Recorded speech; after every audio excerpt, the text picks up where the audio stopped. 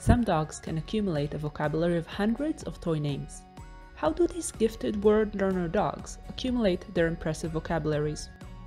Young children can quickly acquire a large vocabulary because in addition to learning new words, they also remember what they have learned.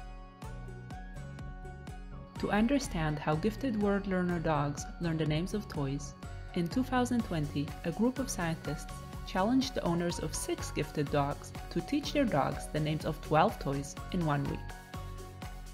Toy is Sonic. It's this little uh, pink cute porcupine.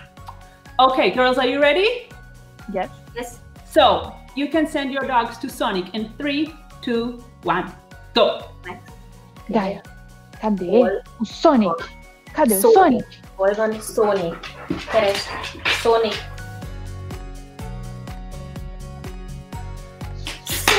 Ügyes vagy!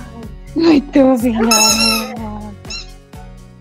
The dogs astonished everyone and proved that they could learn the names of between 11 to 12 new toys.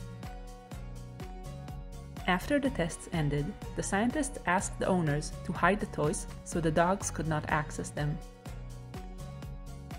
Then, two years after the dogs have last seen the toys, the scientists tested them again to see what they remembered.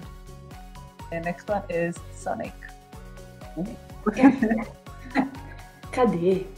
O Sonic.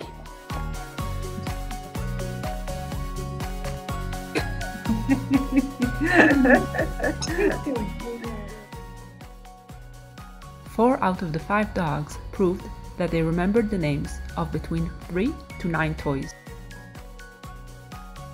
So while humans may be the only species that can use language, we are not the only one that can remember words.